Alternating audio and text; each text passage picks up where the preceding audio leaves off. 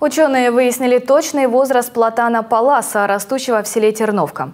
В начале октября обследовать дерево по всероссийской программе «Деревья. Памятники живой природы» приехали московские специалисты, сотрудники компании «Здоровый лес».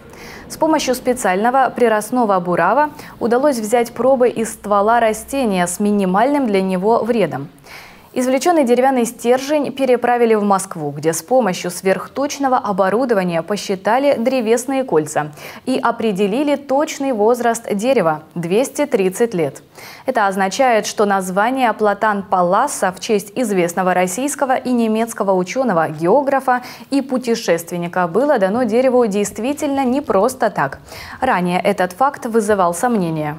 Можно однозначно утверждать, что этот платан был посажен Петром Симоном Паласом, потому что территориально он расположен в границах усадьбы Паласа, а участок, именно который принадлежал выдающемуся ученому, можно с ним ознакомиться в архиве, республиканском архиве в городе Симферополе. Очевидно, был посажен в 5-6-летнем возрасте, потому что с 1796 года практически постоянно ученый проживал в Шули вот в своем имении и до начала XIX века. После исследования платан был включен во всероссийский перечень старовозрастных деревьев, а ранее, в сентябре 2019 года, на основании законопроекта вошел в список особо охраняемых природных объектов Севастополя.